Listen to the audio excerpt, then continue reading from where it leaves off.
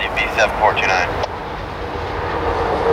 Ready for leave. Your guard is released track order number 584 to the UP 7429. The next box from CPRV 208 to milepost 220 on main 1 track, Roseville sub, no switches used.